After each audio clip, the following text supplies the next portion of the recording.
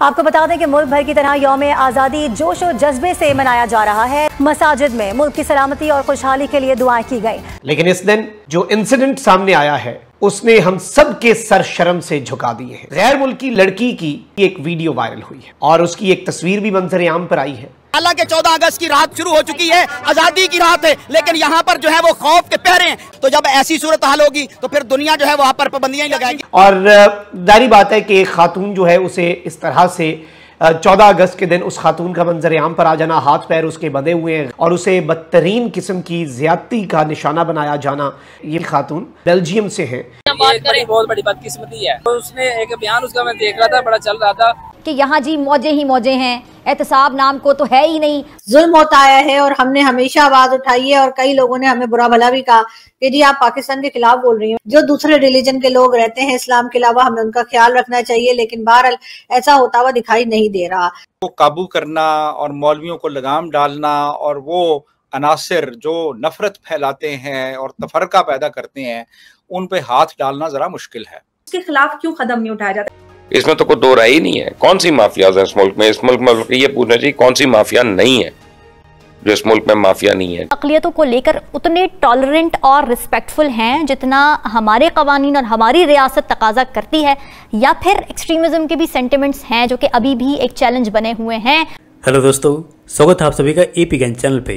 तो फ्रेंड्स, आइए देखते हैं पाकिस्तानी मीडिया की लर्स वीडियो। तो दोस्तों, जैसे कि आपने देखा कि अभी पूरा पाकिस्तान 14 अगस्त को अपनी आज़ादी का दिवस मना रहा है, लेकिन इसी दिन एक ऐसी खबर पाकिस्तानी मीडिया में निकली, जिसने पूरे पाकिस्तान को शर्मसार कर दिया है। जिस पर पाकिस्तानी मीडिया भी बात कर रहा है कि आज चौदह अगस्त को यानी आज़ादी के दिन ही पाकिस्तान को शर्मसार होना पड़ रहा है। हालाँकि पाकिस्तान में ऐसा होना यह कोई पहली घटना नहीं है, लेकिन सवाल यह भी साथ में है कि पाकिस्तान में अच्छा कुछ कैसे हो सकता है जब पूरा पाकिस्तान ही एक झूठ और बेबुनियाद आधार पर बना हो और जिसकी आवाम को बचपन से ही, स्कूलों से खुद के बारे में, खुद के देश के बारे में झूठ पढ़ाया जा रहा हो और इतिहास को तोड़ मरोड़ के पढ़ाया जा रहा हो तो वहाँ की जो पाकिस्तानी जनता कैसी होगी, यह सामने अब पाकिस्तान के अंदर नज़र आ रहा है। और दूसरी बात कि जो पाकिस्तानी वाले बोलते हैं कि हम आज आज़ादी का दिन मना रहे हैं तो कई पाकिस्तानियों ने ही इस बात को कहा है और सच्चाई भी यही है कि पाकिस्तान कभी आज़ाद हुआ नहीं है, बल्कि उन्नीस सौ सैंतालीस में आज़ाद तो भारत हुआ है, हिंदुस्तान हुआ है, जिसको कि काट कर पाकिस्तान बनाया गया यानी पाकिस्तान कभी आज़ाद हुआ ही नहीं। पाकिस्तान तो भारत का एक हिस्सा था, जो सिर्फ़ धर्म के नाम पे अलग कर दिया गया।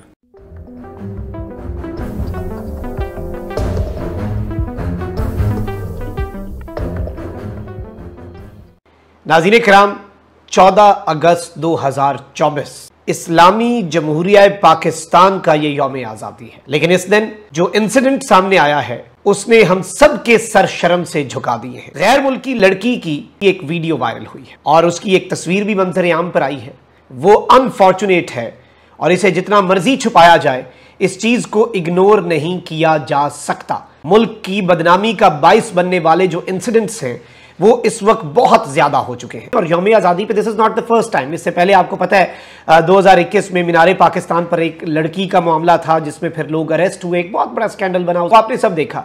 लेकिन चौदह अगस्त का दिन ही जो हमारा आज़ादी का दिन होता है, जिस दिन अकवाम आलम और इवन अभी आप देखिएगा, भारत इसे किस तरह से हाईलाइट करता है इंटरनेशनल मीडिया इसे किस तरह से हाईलाइट करता है।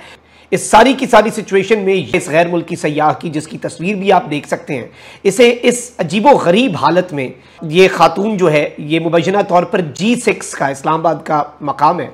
तो वहाँ से ये खातून हाथ पैर इसके बंधे हुए थे, मुँह पे पट्टी बंधी हुई थी और इंतहाई बुरी हालत के अंदर ये खातून जो है, ये वहाँ से मिली। वजना तौर पर यह बताया जा रहा है कि ये बेल्जियम से है और उसे बदतरीन किस्म की ज़्यादती का निशाना बनाया जाना लेकिन ये हमारी प्रायोरिटीज़ का भी एक मुँह बोलता सबूत है। हमारी विफाकी पुलिस, हमारे इस्लामाबाद पुलिस जो है, उनकी तमाम तर तोानाइयाँ उनकी तमाम तर जो कोशिशें हैं वो ये थी कि पाकिस्तान तहरीक इंसाफ का कोई कारकुन जश्न आज़ादी ना मना सके।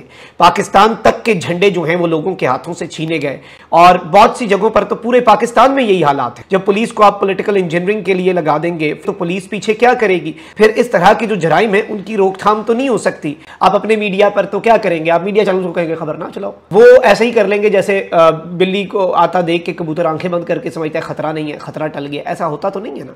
आप जरा पहले इस खातून का बेचारी का ये क्लिप सुने। ये खातून परेशान है और इसमें कह रही मुझे दस मिनट नहीं मैं बताती हूँ। लेकिन उसका डर, उसका खौफ और अच्छी बात यह है कि जिस जो बंदा बेचारा कह रहा है उसे कि आप सेफ़ हैंड्स में हमने पुलिस को बुला लिया उसने उस बेचारी को जो एक शर्ट में थी और ट्राउज़र में थी उसे एक दुपट्टा दिया उसे कहा कि आप अपना चेहरा कवर कर लें।